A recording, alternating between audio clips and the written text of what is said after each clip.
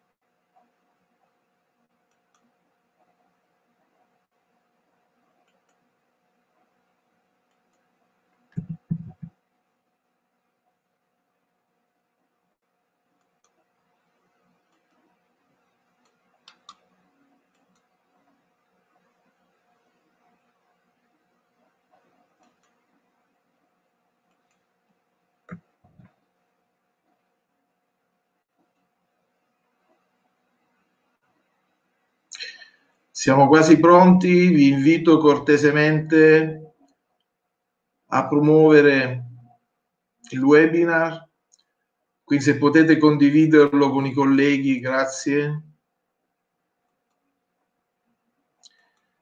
E condividerlo magari in qualche gruppo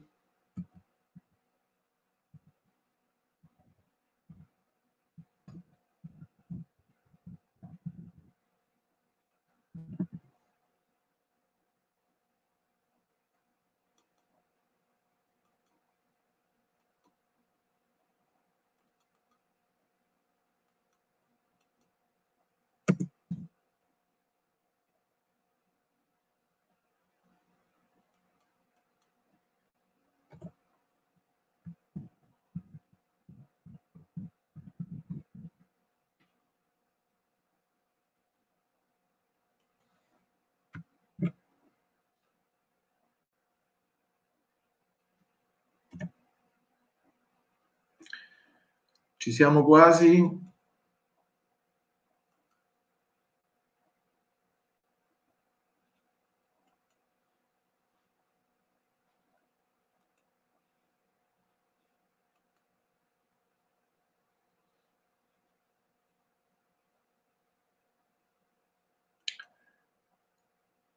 Bene, ciao a tutti.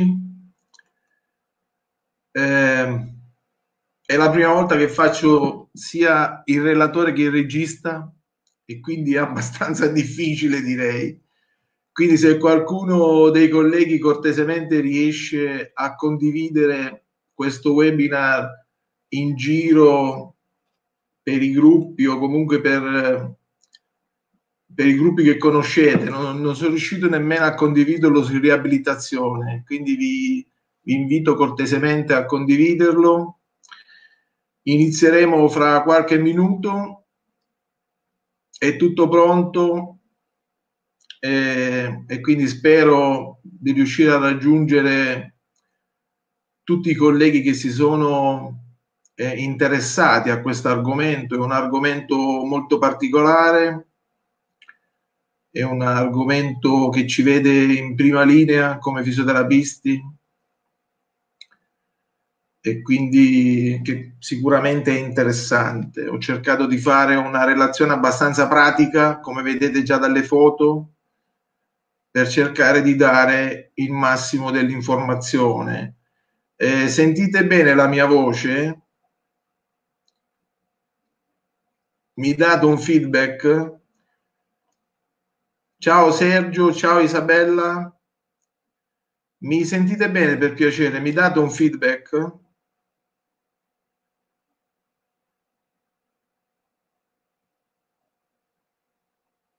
Aspetto un vostro segnale per dirmi se mi sentite bene. Perfetto, ok, allora possiamo procedere. Adesso sono le 18, cerchiamo di essere precisi. Io vi saluto tutti e vi ringrazio per questo vostro interessamento. Aspettiamo anche dei colleghi stranieri, rumeni, indiani e, e dell'Ucraina che sono miei miei allievi dei corsi che faccio all'estero, quindi spero eh, di eh, farvi, eh, farvi passare qualche momento interessante con delle notizie abbastanza recenti, abbastanza anche di esperienze personali. Eh. Infatti adesso io inizio subito e inizio praticamente con la mia esperienza fatta. Allora, io sono fisioterapista in scienze motorie e praticamente eh, ho fatto per dieci anni il fisioterapista della nazionale italiana di pattinaggio a rotelle e durante questi dieci anni praticamente sono, ho avuto la fortuna di eh, andare in giro per il mondo e di conoscere tante tecniche. Infatti il tapping kinesiologico io l'ho appreso direttamente in Corea dal medico della nazionale coreana. Ecco perché la mia impostazione è un'impostazione diversa di tapping Ecco perché lo applico in una maniera eh, particolare, insomma, ecco, ecco perché il Bellia esiste. Allora, ehm, vi ho riportato in questa slide tre eh, articoli che ho pubblicato negli anni in cui ero fisioterapista della nazionale di pattinaggio, che ho pubblicato nel mio sito e anche nel sito della federazione. Per esempio, questa è un'analisi posturale biomeccanica per ottimizzare le prestazioni sportive del pattinatore questo lavoro è, è, stato molto interessante anche perché dovete sapere che il pattinaggio a rotelle velocità, che sembra un'attività sportiva simmetrica, in effetti è un'attività sportiva asimmetrica. Perché? Perché i pattinatori quando uh, fanno le gare su pista, loro girano sempre verso la loro sinistra, quindi praticamente in curva loro pattinano incrociando la gamba destra sulla gamba sinistra Ecco, questo incrocio in modo specifico crea delle asimmetrie muscolari e comunque anche di assetto, diciamo, del bacino. Ecco perché noi facevamo fare agli atleti tutto il lavoro di compenso per cercare di andare a compensare questa, ehm, questa azione asimmetrica, un po' come quella che si fa fare ai marciatori come si fa fare i marciatori dell'atletica leggera che, si, eh, che fanno le gare su pista. C'è la gara su strada, ma c'è la gara su pista. Quindi la gara su pista purtroppo ti costringe a girare sempre dallo stesso lato e quindi molto spesso può dare delle patologie da sovraccarico eh, per asimmetria di, eh, di, spinta. Ecco, questo, eh, questo primo che vedete è un bel lavoro eh, che ci ho messo tantissimo come sapete, mio figlio è stato campione mondiale di pattinaggio, quindi avevo, diciamo, uh, il, eh, eh, diciamo, chi, a chi dovevo studiare ce l'avevo direttamente in casa e quindi avevo il modello, ecco, non mi veniva il tempo, avevo il modello in casa e quindi potevo studiarlo eh, bene. Ecco, questo è un bel lavoro, questo è il link e trovate questo lavoro. Poi ho fatto un lavoro sulle patologie del piede del pattinaggio a rotelle, e quindi ehm, dovete sapere che il movimento che fa il pattinatore è un movimento di doppia spinta molto particolare perché va, eh, porta il peso eh, internamente e esternamente rispetto alle ruote, quindi questo tipo di movimento di prono, eh, diciamo di bascullamento del piede eh, se non è perfettamente ehm, centrato sia il fusto dove vengono messe le ruote che la scarpa ecco, può dare delle problematiche ai piedi. e quindi questo è uno studio che ho fatto con la nazionale giovanile insieme al CT Giulio Ravasi e insieme al medico Alfio Stuto. Quindi questo è un bel lavoro di qualche anno fa, ma sempre interessante. Poi ho fatto uno studio sulla simmetria di spinta, quindi come si fa a stabilire in uno sport eh, anche ciclico, quale può essere, pensate, anche un podista, un runner, come si fa a stabilire se la gamba destra e la gamba sinistra spingono con la stessa forza? Ecco, qui ho messo a punto tre test, tre test specifici che eh, diciamo danno una, eh, delle buone indicazioni. E, e queste, come vedete, sto parlando di qualcosa di funzionale e già sto cominciando a introdurre quello che è il concetto di postura vista come una, eh, come una problematica funzionale, non posturale vista come forma, come simmetria. Ecco, la simmetria è fine a se stessa, invece praticamente eh, noi dobbiamo avere una, una, visione funzionale. Quindi cominciamo a eh, introdurre un concetto che è quella di armonia quindi il concetto di eh, movimento armonico, dove c'è una successione di contrazioni muscolari degli adattamenti eh, del, eh, dell'apparato muscoloscheletrico, quindi la parte articolare, i legamenti e così via. Quando viene a mancare questa armonia, quindi questo movimento armonico, ecco la postura armonica, vedete? Allora si possono avere delle problematiche di overuse, quindi di sovraccarico funzionale, ma non solo di sovraccarico funzionale, perché eh, possono incidere anche sulla performance. Ecco, eh, ritornando al pattinatore che ha l'adduttore di destra, visto che è quello che si incrocia durante la curva incrocia con la destra e l'adduttore di destra spesso risulta retratto, oltre a dare una problematica inserzionale degli adduttori, e quindi una sindrome pubalgica, ci può dare anche una problematica di performance, perché quando il pattinatore si trova nel, eh, a pattinare sul diritto, quindi sta pattinando sul rettilineo, ecco, molto spesso vedevamo questi atleti che la gamba di destra non le estendevano completamente e quindi non finivano la spinta. Quindi questo qua diventa molto interessante, molto importante. Dopo vi farò vedere un'immagine del test che io facevo ai ragazzi della nazionale e quindi per ottimizzare la performance, ok? Poi rendere economica l'azione motoria sia come dispendio energetico ma anche come usura delle strutture anatomo-funzionali. Cioè oggi noi faremo l'analisi sulla spalla degli sport overhead, quindi degli sport dove c'è un'azione sopra la testa, ok? Quindi giavellotto, tennis, baseball. Ecco, se la testa dell'omero non è perfettamente centrata nella cavità glenoidea, io avrò sicuramente un'usura, quindi io consumerò la mia cartilagine, io farò lavorare in una maniera non funzionale, armonica, il concetto di armonia è importante, eh, in una maniera non armonica le eh, strutture capsulo-legamentose, muscolo, quindi capsulo-legamentose e muscolari.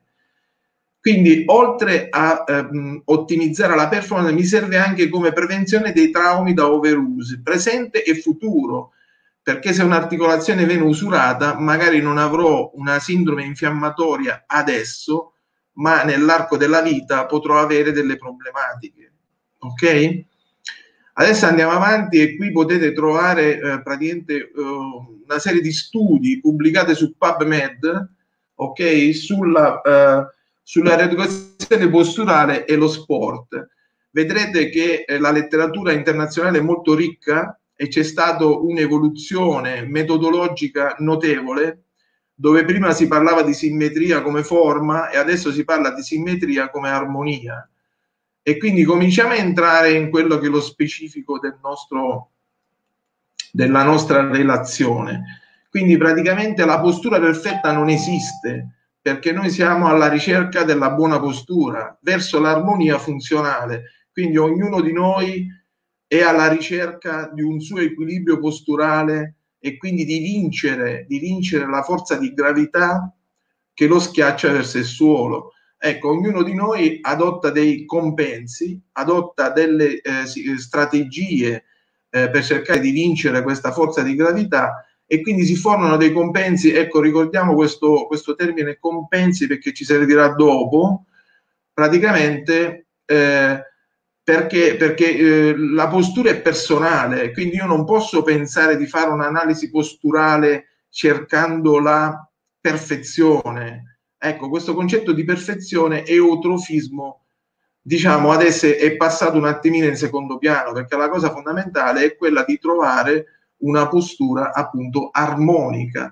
Quindi nel caso della rieducazione posturale che eh, noi vogliamo progettare per il nostro atleta, ecco, la cosa fondamentale è fare una distinzione. Abbiamo un atleta asintomatico, quindi non ha nessun sintomo, vuol dire che i suoi compensi lo rendono armonico. Quindi cosa succede? Io devo cercare di migliorargli il gesto sportivo, ma rispettando le sue caratteristiche personali. Ok? Quindi se mi rendo conto che quel movimento eh, che quel movimento durante la battuta sta creando una eh, sollecitazione eccessiva alla cuffia dei rotatori, quindi può diventare usurante, ecco, cercheremo di proporre una biomeccanica sempre in equip con l'allenatore, il tecnico e il preparatore atletico, quindi cercare di trovare una soluzione per usurare meno queste strutture. Invece nel caso in cui mi trovo con un atleta sintomatico, quindi ha una sintomatologia e questa sintomatologia io dovrò andare a fare un'analisi biomeccanica e cercare di capire dove è l'origine di questa sintomatologia, da dove arriva.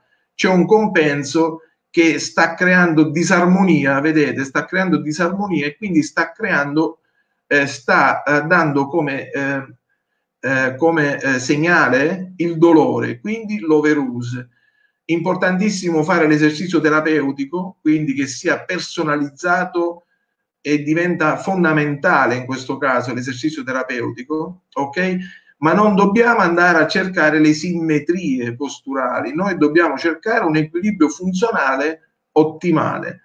Adesso andiamo, andiamo a vedere eh, alcuni concetti, eh, appunto sempre dalla, vedete, dell'armonia, la forza di gravità che dicevo prima, è riconducibile alla biomeccanica del movimento e quindi dobbiamo alleggerire il sovraccarico funzionale, quello che mi sta dando la eh, sintomatologia. Ricordiamo che la postura è determinata dall'adattamento personale all'ambiente fisico, psichico ed emozionale, quindi ha una, eh, una serie di motivazioni che sono eh, veramente molto profonde e molto importanti. Ok? Quindi non dobbiamo pensare solamente all'aspetto, all'aspetto esteriore, all'aspetto estetico, ma dobbiamo pensare all'aspetto funzionale. Ecco, la visione posturo-cinetica di Claude Altieri è molto interessante perché ehm, superando il modello posturale eh, del padre della posturologia Gaillet eh, del 70, eh, praticamente ehm, che era era più eh, legata a quello che erano i, i, muscoli e quindi un qualcosa di molto analitico. Adesso invece stiamo andando verso una coordinazione sensomotoria, quindi abbiamo una visione dei recettori, abbiamo una visione eh, di, di, tutte le integrazioni che avvengono eh, a livello eh, del sistema nervoso oh, eh, centrale e quindi eh, del sistema tonico-posturale. Quindi il modello che si utilizza schemi motori registrati a livello del cervello sensomotorio, ok? Quindi ecco, secondo questa uh, la teoria di Claude Altieri, eh, gli aggiustamenti posturali anticipatori, ecco, ci sono queste due tipologie bot-up, quindi praticamente eh, dal, dall'alto verso il basso eh, e dal basso verso l'alto, praticamente questo, dove al centro ci sta il supremo quindi ci sta il sistema eh, nervoso centrale. Eh, questa è una teoria molto interessante che vi invito ad approfondire perché il deficit posturo-cinetico viene visto come un qualcosa di funzionale, quindi noi dobbiamo andare a, ad analizzare una funzione per cercare di eh, armonizzare, armonizzare la postura. Eh, ecco, sì, sicuramente molto importante anche l'aspetto viscerale, eh, infatti eh, Cloud eh, dà molta importanza alla, al, al, concetto e all'aspetto viscerale.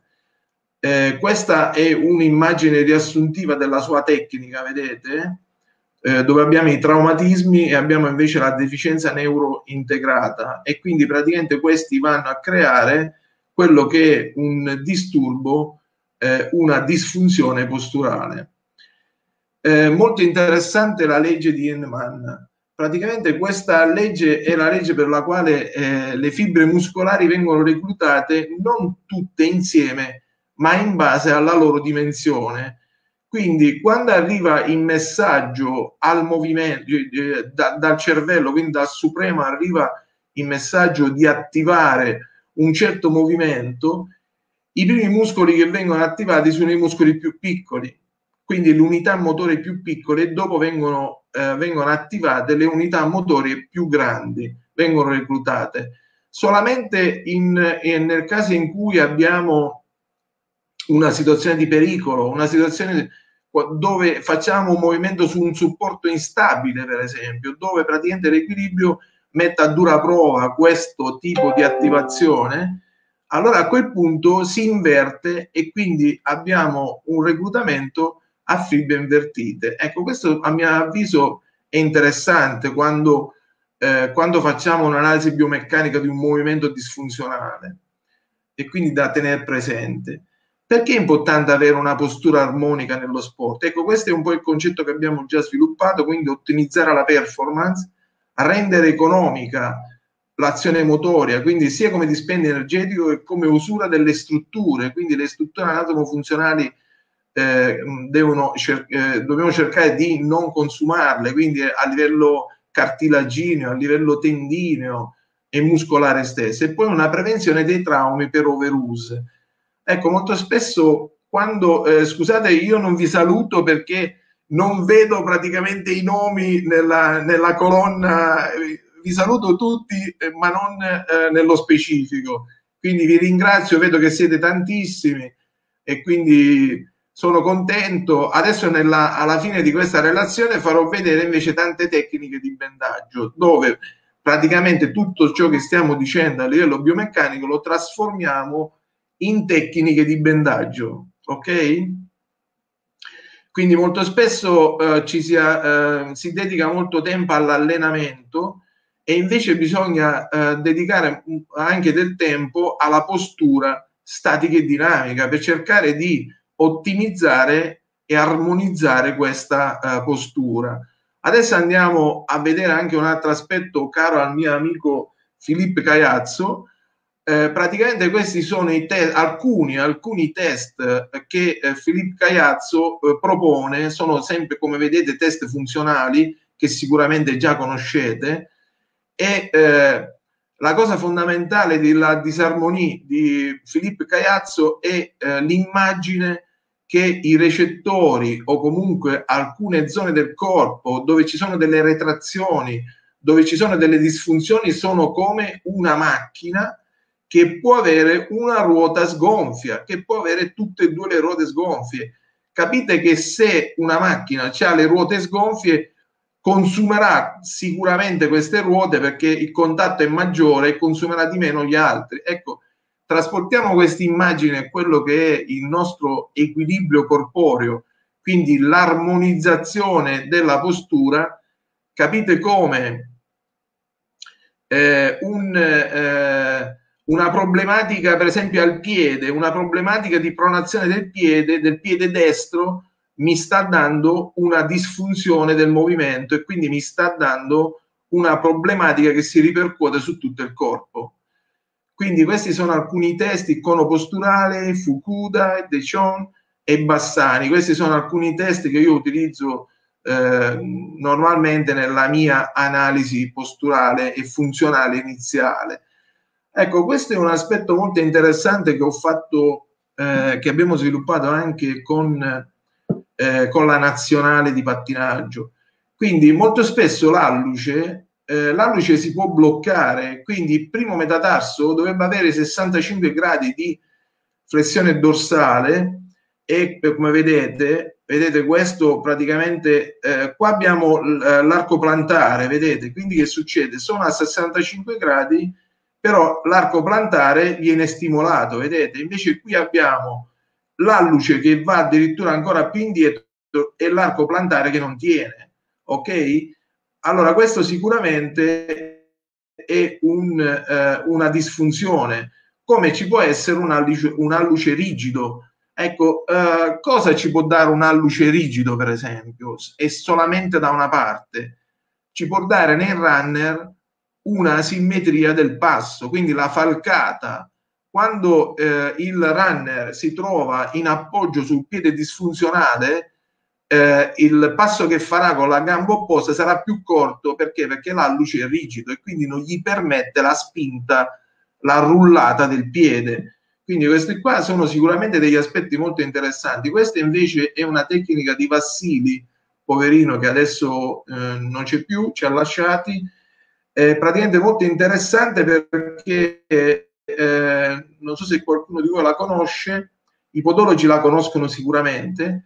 Praticamente viene eh, tracciata quest'asse longitudinale, vengono tracciate queste due fossette che sono accanto ai malleoli, poi si fa impiegamento del ginocchio verso il secondo metatarso e si vede praticamente se c'è una disfunzione del piede, quindi se il piede va in pronazione o va in supinazione. Molto interessante anche l'appoggio monopodalico, quindi si va in appoggio monopodalico e si vanno a controllare queste due fossette e si vede se l'asse eh, che abbiamo tracciato precedentemente e eh, rimane diritto oppure si eh, eh, forma una, una, retta spezzata, ok? Quindi terzo superiore della tibia, il centro del mortaio astragalico e la seconda testa metatarsale. Questi sono le tre X che vedete. Questa invece è una, eh, è una stabilometria da campo fatta in modo molto, eh, molto casereccio e che però ci dava dei risultati interessanti. Perché praticamente ho messo due bilanci, un po' il lavoro che facciamo quando facciamo mettere in carico le persone che hanno una disfunzione nel cammino, per esempio, e a occhi chiusi, a bocca aperta e occhi aperti, oppure nella posizione del pattinatore che praticamente deve avere una, un, un, piegamento del ginocchio a 110 gradi e anche del busto a 110 gradi con le braccia nella posizione che hanno loro, io andavo a guardare la simmetria di carico, quindi la simmetria di carico fra il piede destro e il piede sinistro, questo può essere un parametro molto interessante, uno perché può dare una disfunzione a livello della colonna, a livello di alcune articolazioni dove c'è più carico, e due per la performance. Quindi questi sono tutti i campioni del mondo, quelli che vedete qui, eh? anche se hanno, la, hanno la, eh, il body della loro società. Io lavoravo per questa società. Quindi questa qua è una, sicuramente interessante, costa pochissimo e può essere interessante. Andiamo a vedere un programma per un atleta che presenta disarmonia. Quindi anamnesi dell'atleta, vediamo i, i traumi che ha avuto, vediamo eh, se ha avuto qualche intervento chirurgico e quant'ha, le cadute, ecco nel pattinaggio molto, molto importanti le cadute, non bisogna sottovalutarle, i pattinatori generalmente picchiano il, il grande trocantere e questo porta a un disassamento del bacino, disassamento del bacino che porta irrimediabilmente una lombalgia oppure una sindrome pubalgica. Quindi ecco, andiamo a verificare tutte queste cose, un esame podalico baropodometrico, se possibile, esaminiamo un paio di scarpe consumate, nel caso del runner, per esempio, è molto importante perché ci dà il carico, ci dà eventuali asimmetrie di spinta che può avere l'atleta. Osservazione classica, statica, dinamica e funzionale dei recettori, quindi vado a vedere anche a livello eh, oculare, vado a vedere eh, e, e quindi diciamo a livello generale l'ATM e quindi tutto quello che, si, che viene fatto in un'analisi uh, funzionale. Eh, e poi vado a, vado a, fare un'analisi globale del gesto tecnico che, che, provoca dolore. Quindi vado a vedere questo gesto tecnico e cerco di capire che tipo di disarmonia sta creando questa patologia di questo mio atleta, questo mio paziente. Quindi farò una programmazione video globale con esercizio terapeutico specifico e quindi cerco di andare ad affrontare in maniera globale questo tipo di problematiche. Questi sono alcuni aspetti, guardate, questa praticamente la nazionale, tutto quello che vedete da questo lato qua sono le osservazioni che facevo alla nazionale. Vedete, qua sto facendo una misurazione della, eh, dell'apertura, quindi degli adduttori, avevo una linea centrale, un goniometro e segnavamo, questa è eh, un'allenatrice, e segnavamo tutti i eh, parametri che risultavano da questa valutazione. Questo è un campione mondiale di ski qui sto facendo un'analisi posturale con il laser, vedete? E sto cercando di capire le eventuali asimmetrie che poteva avere e che mi davano una disfunzione sull'arto di destra, una sindrome della bendeletta iliotibiale, questa invece è una normalissima ehm, eh, carta podometrica. Ecco, io perché uso la carta podometrica da fisioterapista? Perché poi mando il mio paziente che mi risulta eh, disfunzionale come questo, vedete che differenza di carico, lo mando dal podologo eh, mio di fiducia. Quindi io chiudo la carta, la piego, gliela do al paziente e lo mando dal podologo il quale farà una sua valutazione approfondita e se il caso eh, proporrà di fare i plantari o comunque quello che c'è da fare. Questo guardate questo appoggio come strano con questa cicatrice qui, vedete?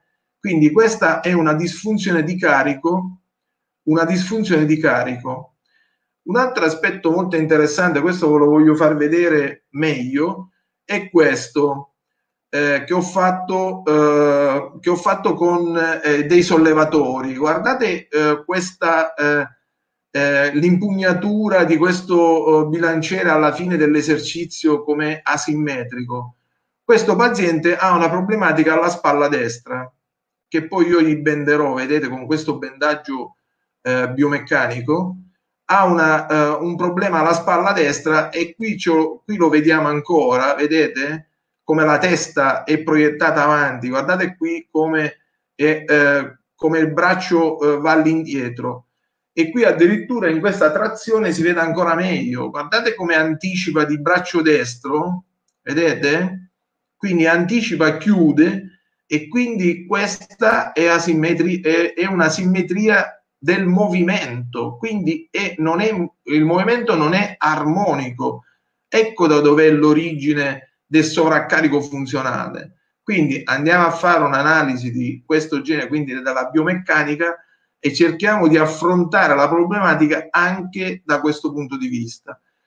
Sicuramente la, eh, diciamo, il lavoro d'equipe è quello vincente, quindi noi non possiamo fare tutto da soli, noi dobbiamo sempre appoggiarci a dei professionisti, specialisti, eh, che ci aiutano e poi dopo cerchiamo di tirare insieme un po' tutto e eh, vedere come possiamo aiutare il nostro paziente.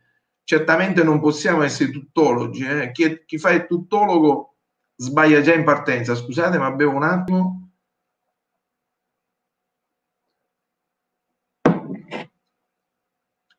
Ecco, stavo dicendo proprio che chi fa il tuttologo sicuramente sbaglia già in partenza perché non si può sapere tutto. Eh bisogna cercare sempre l'aiuto dello specialista, di altri specialisti. Quindi troviamo spesso delle rigidità, troviamo delle tensioni muscolari, delle retrazioni fasciali, delle cicatrici che nemmeno il paziente conosce e così via. Ok? Quindi un programma di compenso personalizzato per migliorare l'elasticità muscolare, ottimizzare il gesto sportivo, efficace ed economico, esercizio terapeutico globale per permettere dei movimenti armonici ed economici. Ecco, questo è un po', eh, diciamo, un programma, un programma di massima. Adesso passiamo a un altro, ah, ecco, questo è interessante, vedete, qui sto facendo l'esercizio terapeutico eh, con un bendaggio stabilizzante.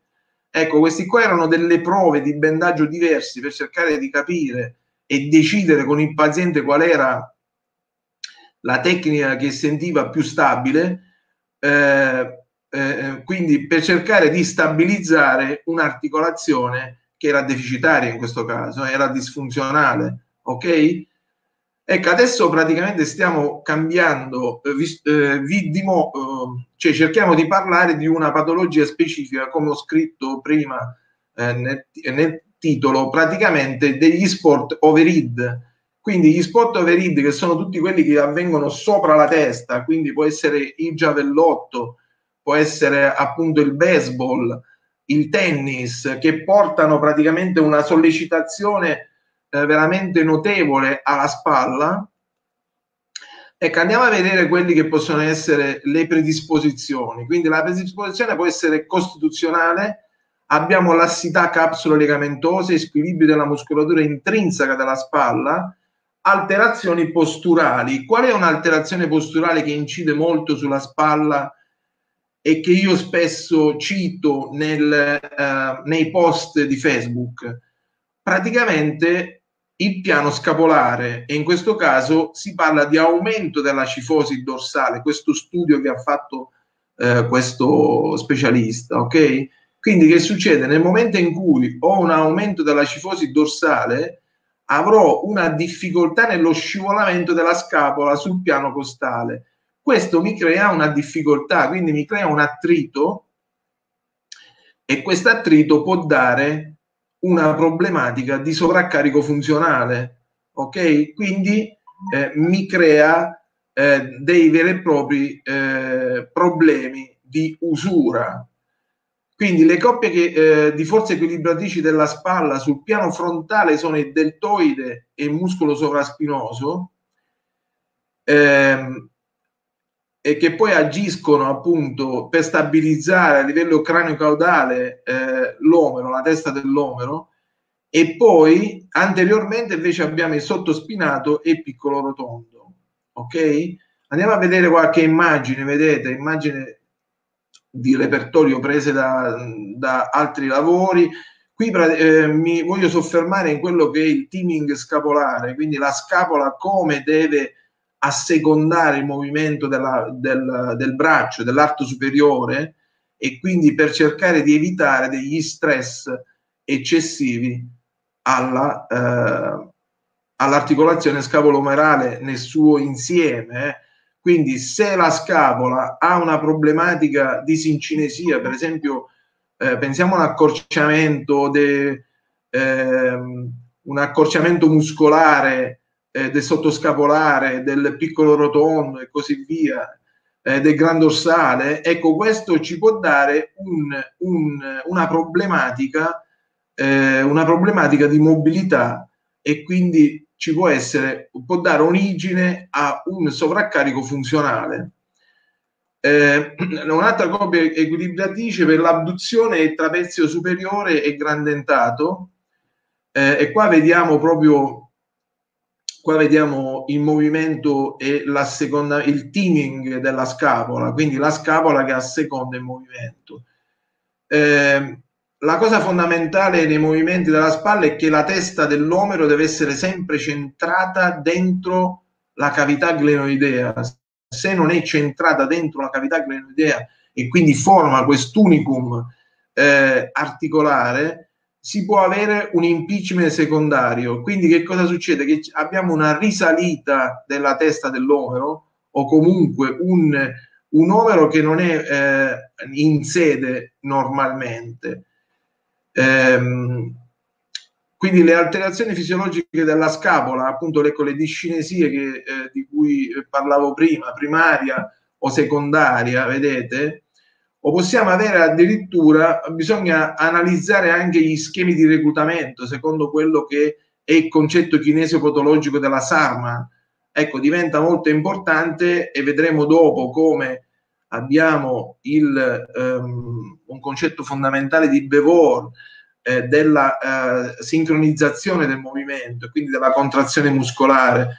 Guardiamo le sollecitazioni di una tennista, vedete come mette a dura prova la spalla, siamo veramente a sollecitazioni pazzesche e se eh, la spalla si trova in una situazione di non equilibrio, armonia muscolare, andrà soggetta a un sovraccarico funzionale e quindi potrà dare pian piano eh, una sintomatologia dolorosa.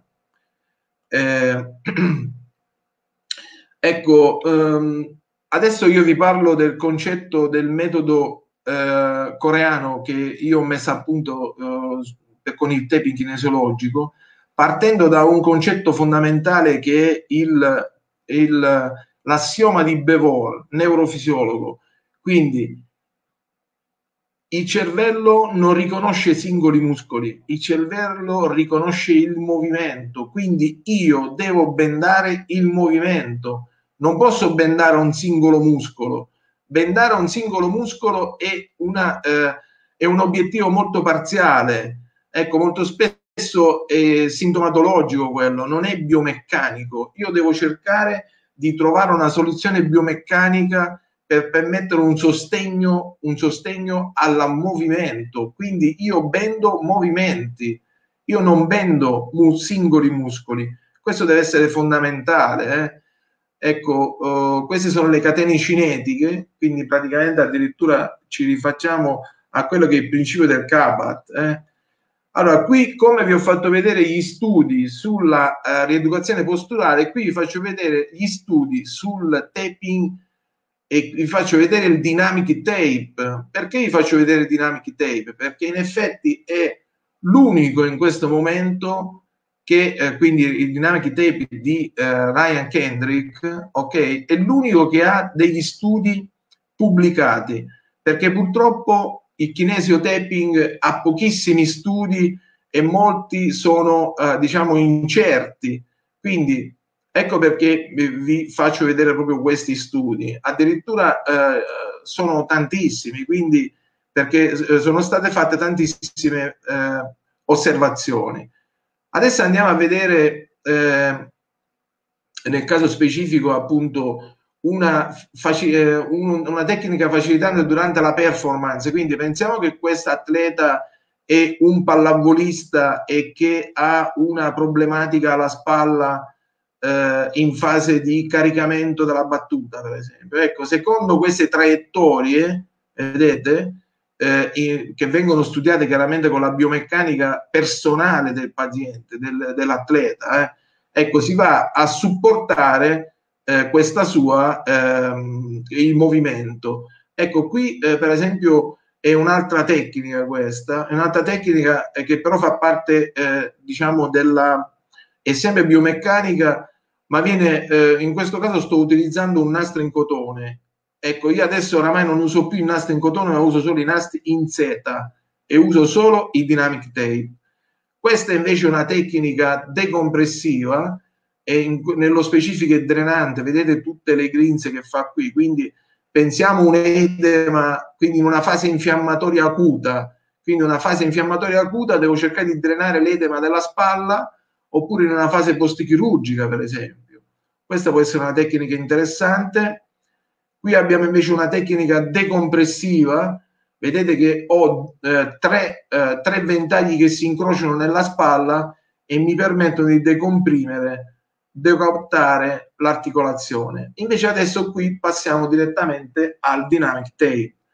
Quindi stiamo parlando di un nastro diverso, vedete Ryan Kendrick, eh, è un nastro in licra, non ha, eh, non ha uno stop rigido, che significa stop rigido, significa che il nastro a fine corsa ha ancora possibilità di allungarsi e questo diventa fondamentale nello sport. Ecco, questa è la spalla del sollevatore di prima, vedete? E io qui gli ho fatto una serie di tiranti per cercare di stabilizzare a livello biomeccanico la sua spalla e quindi permettergli di allenarsi e nel frattempo faceva degli esercizi eh, praticamente eh, un esercizio terapeutico per cercare di andare a ripristinare eh, un movimento armonico della spalla. Questo è un campione, de, è un primatista mondiale di lancio del disco paralimpico, vedete? E qui c'è una traiettoria complessa, tridimensionale, come la definisco io, della spalla, eh, molto efficace eh, qui invece ci troviamo appunto come sostegno nel fitness, quindi fitness e sport sono eh, a mio avviso sono um, diversi come tipologia, perché lì abbiamo una performance vera e propria, invece nel fitness abbiamo uh, delle, uh, degli obiettivi diversi, diciamo. Ecco, questo uh, è per supportare quello che è un esercizio appunto a lat machine e di trazione, ok? Eh, come nasce un bendaggio? Nasce dal gesto tecnico, quindi io vedo il gesto tecnico e devo cercare di andare a supportare il gesto tecnico. Ok? Qui abbiamo, questo è un tennista classificato ai tempi quando ho fatto questo studio che ho presentato a un congresso. questo studio è stato presentato al congresso di Salerno, Fisciano, adesso non mi ricordo l'anno preciso.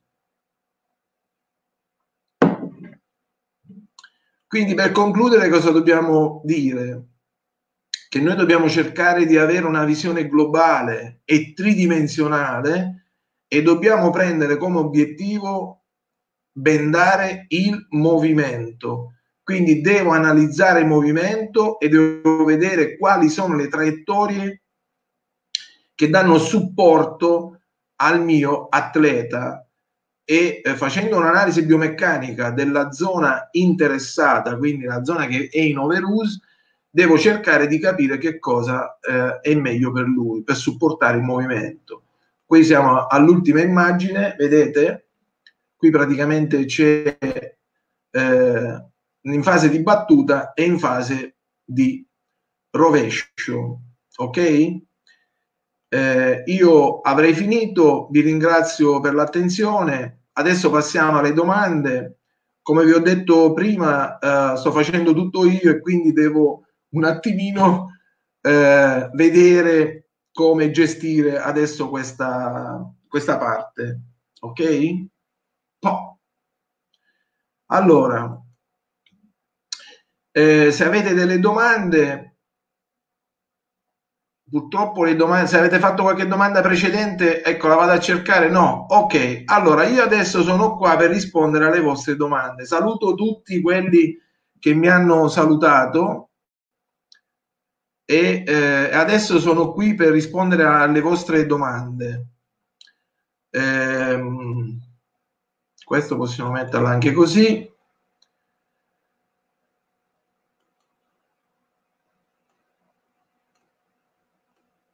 Vi siete ammutoliti? Allora devo dedurre che non sono riuscito a stimolare in voi. Allora, non mi è chiaro perché... Ok, vediamo questo. Allora, il tapping in seta. Ciao! Poi dalla mia grande Siracusa mi arriva la prima domanda. Grazie a te, Rolando. Allora, il tapping in seta è un tapping particolare è un tapping che eh, mi permette la sovrapposizione e questo è importantissimo perché la sovrapposizione mi permette di creare degli strati uno sull'altro e poi eh, con l'acqua quando io mi faccio la doccia o comunque se tu pensi di usarlo su un atleta che sta facendo una gara, una performance sotto l'acqua, ecco praticamente mi permette una buona stabilità il, se, il cotone come si bagna praticamente si sfibra e quindi non ha tenuta. Io in effetti, come ti ho, ho detto quando all'università a Palermo, praticamente io uso, uso solamente nylon, seta, dynamic tape, appunto perché per me sono quelli che ottimizzano i risultati dei bendaggi. Eh, Corrado Comunale, sì, io uso il seta, come dicevo, come già ho spiegato, perché ha una performance superiore, cioè il cotone, fatta la prima doccia, fatta la seconda doccia, ha perso tutto, cioè tu non trovi più eh, un, eh, un, riscontro, ok? Eh, non so se avete mai eh, usato il seta, il seta è un nastro completamente diverso, appunto perché ha una grande adesività, c'è una colla un po' leggermente superiore e poi essendo lucido permette la sovrapposizione. Quindi io posso fare voglio fare il bendaggio alla spalla che abbiamo visto prima. Lo posso fare addirittura con tre nastri uno sull'altro come si fa anche con il dynamic tape Sicuramente il, per, il più performante è il dynamic tape perché non ha stop rigido, quello è una cosa fondamentale lo stop rigido. Stop rigido significa io tiro, tiro, tiro, tiro, tiro, a un certo punto mi devo fermare o si rompe. Ecco, il dynamic tape tiro, tiro, tiro, tiro, tiro e lo tirate fino in fondo e quindi non ha stress sulla cute. Il paziente non, non sente stress di taglio sulla cute. Eh, vediamo quest'altra domanda. La tecnica per applicare questo tipo di tape è diversa rispetto a quello classico? No, praticamente le caratteristiche devi sapere che è più adesivo e che eh, ha una, eh, la possibilità di essere sovrapposto. Per esempio, ti faccio l'esempio classico. Hai un podista, vedo che ti vedo, ti vedo vestito da runner, tu hai un podista che ha un'infiammazione del tendine d'Achille. Allora, dopo aver analizzato tutto e quindi hai cercato di capire qual è eh, l'origine di questa sua patologia e quindi affrontare nella maniera corretta, quando lui rientrerà a correre, se tu prendi il nastro in seta e fai tre strati uno sull'altro, uno, uno, due e tre, e lo metti sul tendine d'Achille e arrivi fino alla volta plantare, e i miei allievi sanno qual è questa tecnica, praticamente tu hai tre nastri che non sfogliano, non scivolano. Perché? Perché aderiscono uno sull'altro perfettamente. Oppure usi il dynamic tape. Il dynamic tape è consigliato fra uno strato e l'altro di spruzzare la colla spray. Eh, allora, andiamo a Leonardo. Ciao Leonardo. Eh, le correzioni effettuate tramite TEPE pensa che possono mantenere nel lungo periodo creando un certo qual modo una modifica dello schema motorio. Ecco, questo deve essere la tua bravura. Allora, la tua bravura eh, deve essere eh, nel fare un esercizio te- terapeutico specifico alla problematica e ti aiuti con il nastro come stimolazione esterocettiva. Questa la voglio spiegare meglio. Se noi pensiamo di avere una, eh, eh, abbiamo una, scusa un attimo, vediamo se riesco a togliere questo. Eh, quindi ho una uh, anteposizione delle spalle, io ti metto un nastro a livello dietro le spalle come stimolazione esterocettiva per farti stare più diritto. Chiaramente se ho fatto una rieducazione posturale specifica e un esercizio terapeutico specifico, il nastro continuerà questa stimolazione esterocettiva. Quindi spero di aver risposto.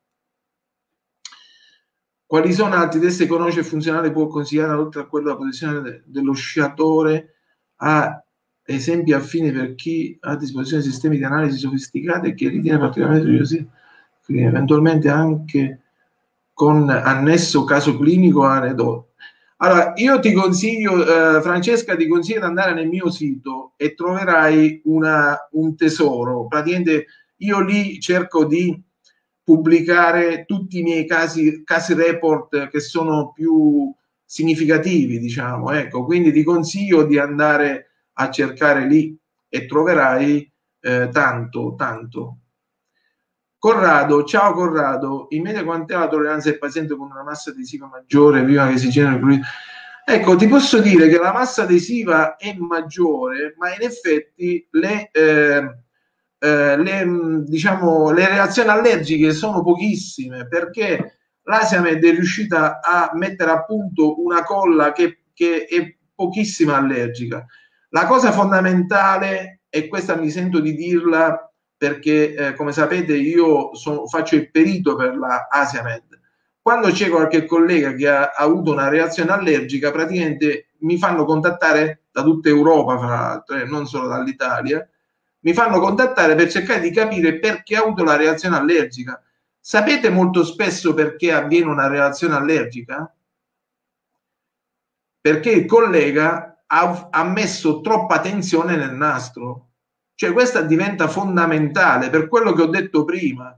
Siccome il nastro ha uno stop rigido, se tu tiri e il movimento deve essere questo, ma io qui non ci arrivo perché hai tirato troppo, hai tirato troppo il nastro, cosa succede? Che il pezzo che faccio da qui a qui lo farò con una sollecitazione di taglio sulla cute e, e quindi la cute si arrossa. Quindi diventa fondamentale la lunghezza del nastro e la tensione che date al nastro. Eh, andiamo a Sergio. Eh, differenze cambi di applicazione tra set e dynamic. Eh, vabbè, sono due nastri diversi, eh, sono, sono, due nastri diversi. Sicuramente il dynamic è superiore dal punto di vista della performance e mi dà più affidabilità sugli atleti di alto livello. Hai visto che ho bendato il primatista mondiale paralimpico, cioè quello ci ha fatto i campionati italiani, ha fatto il record del mondo con quel, con quel bendaggio lì. Eh. Eh, quindi eh, io mh, vedo molto più affidabile il dinamica appunto perché non ha stop rigido, cioè ti permette il movimento, lo lascia tutto libero, non hai problemi di movimento. Chiaramente deve essere bravo il terapeuta che lo applica perché se tira troppo è che il dinamico non viene tirato perché viene messo in una posizione di accorciamento e comunque in posizione di attivazione muscolare e quindi ha una, eh, diciamo, una tecnica applicativa leggermente diversa rispetto al SETA, il Dynamic Tape, eh? non, non, si applica nello stesso modo. Infatti io per, questa, per il Dynamic Tape sto facendo la tecnica biomeccanica, che è una tecnica come quella che avete visto nel sollevatore, quindi che viene fatta secondo la traiettoria biomeccanica del movimento. Eh, vediamo Massimo, eh, rispetto alle prime classi e visto il maggior range di tiraggio, non può est- estremizzare il gesto tecnico sottoposto già a stress?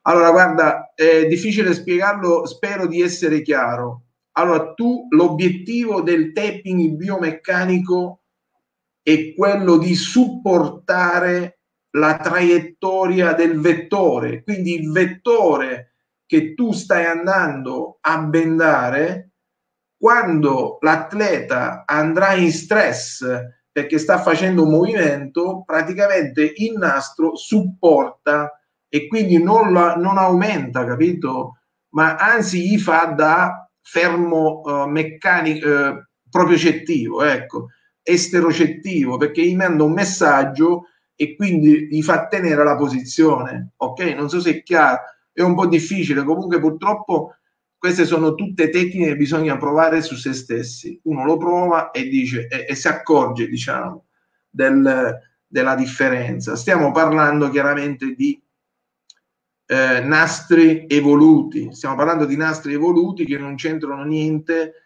con il classico nastro di cotone. Il nastro di cotone eh, vi sfido a fare questa prova, prendetelo e lo tirate e vedrete che a un certo punto pam, si spacca con una forza molto limitata. Eh. Purtroppo eh, dobbiamo tanto al nastro di cotone perché è stato il primo nastro e quindi dobbiamo tanto a Kenzo Case che ci ha insegnato questa tecnica, che ha fatto questa tecnica per tutto il mondo, ok? Io ho avuto la fortuna di impararla in Corea e vi assicuro che in Corea eh, l'applicazione era già evoluta e quindi già andavamo su quello che era una visione globale tridimensionale e si bendavano i movimenti lesivi. Ok? Quanto invece alla resistenza del tape in seta sottoposto a bagno e doccia senza aggiungere con la spray rispettando tutte le regole di ispezione di preparazione e applicazione. Allora, il nastro in seta, eh, quando fate la doccia, praticamente l'acqua rimbalza, scivola, perché è un nastro eh, che ha una consistenza appunto, è seta sintetica, eh? ok? Non è seta naturale, è seta sintetica e quando l'acqua eh, praticamente picchia contro il nastro rimbalza e ne, eh, ne, assorbe pochissima di acqua. Quindi è molto interessante, come è interessante il nastro di nylon, che purtroppo viene, è conosciuto poco il nastro di nylon ma tutti i bendaggi che voi vedete eh, degli ematomi che io pubblico sono tutti fatti con nastro di nylon. Perché il nylon è un nastro bielastico e quindi ci permette di prendere il tessuto in lunghezza e larghezza. E quando ho bisogno di drenare un ematoma praticamente io devo cercare di prendere la cute, il tessuto in tutte e due le dimensioni Vediamo Sergio cosa ci dice. Quindi si può usare il seta anche per un decompressivo. Il seta si può usare anche per il decompressivo, non è, eh, perché tanto l'azione decompressiva tu la fai in allungamento della parte, le greens le fa ugualmente e quindi non eh, eh, hai eh, in più avrai la possibilità di avere un nastro che resiste di più, resiste di più al, all'essere bagnato, alle sollecitazioni e così via. È un nastro di nuova generazione, diciamo. Chi prova e seta dopo non riesce più a utilizzare il nastro di cotone. Ma eh, io direi vi ringrazio molto. Vediamo cosa dici. Corrado,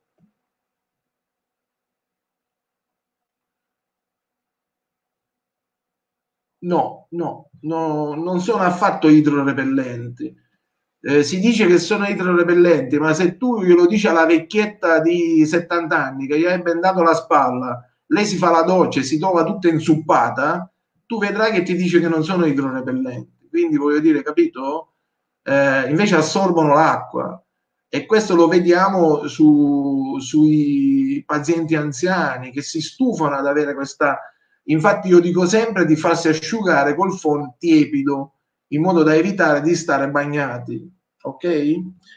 Eh, guarda, per quanto riguarda le marche, eh, sai, io oh, sono il perito eh, della Asiamed e quindi che cosa ti posso consigliare? Un'altra marca. Io ti consiglio quella perché chiaramente lì ne rispondo io, anche perché loro se non stanno su degli standard di qualità alti, io li abbandono e quindi cioè quando c'è qualcosa che non va su questo nastro io mando una mail mando la foto e dico vedi questa cosa? Non va bene.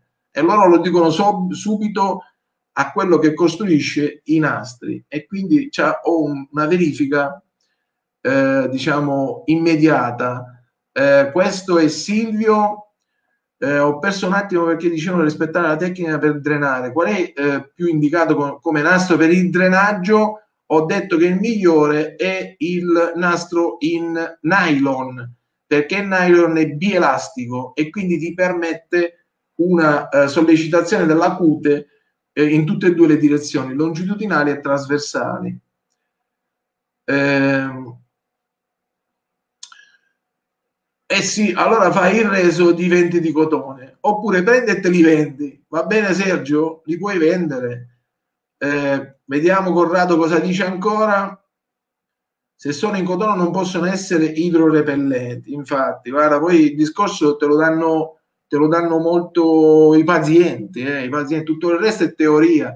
Allora, eh, la cosa fondamentale, lo dico da formatore oramai navigato di tanti anni e anche con esperienze internazionali, la cosa fondamentale è parlare perché tu lo fai, tu ci lavori con quella tecnica e quel materiale. Non si può parlare di un materiale se tu non ci lavori. Io me ne accorgo subito. Adesso tanti webinar che io vedo in giro, delle volte per curiosità vado, vado a a sentire alcuni webinar in giro e mi accorgo che quella persona praticamente non lo usa nemmeno quel materiale perché non riesce nemmeno a tenerlo in mano. Ho visto delle, dei webinar sul flossing, ma non sanno manco tenere in mano il flossing, quindi non, non va bene, non va bene.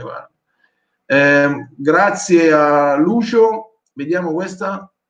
Ok, allora siamo praticamente ai ringraziamenti. Io con questo webinar direi che ho finito, eh, mi sono messo in ballo a fare questi webinar anche con l'amico Corrado, però mi accorgo che poi alla lunga sono un po' corrosivi, quindi eh, se voi avete qualche, qualche eh, altro argomento che volete che io posso anche organizzarmi, eh. anche perché avevo fatto, eh, non so chi di voi ha letto, avevo fatto un 5-6 argomenti che potevo, che potevo fare come webinar, eh.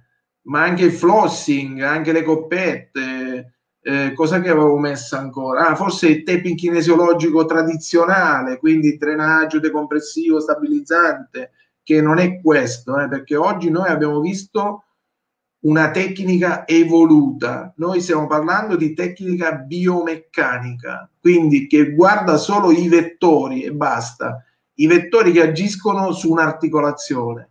Quindi quale vettore devo mettere a riposo, visto che l'articolazione è infiammata e un, e ha un movimento disfunzionale? Ecco, io devo cercare di andare a mettere quel tipo di tecnica, devo realizzare quindi magari eh, provate a scrivere nei commenti e io cerco di organizzarmi. Silvio, eh, io praticamente il prossimo libro è un libro sul, eh, sul, eh, sulla medicina estetica.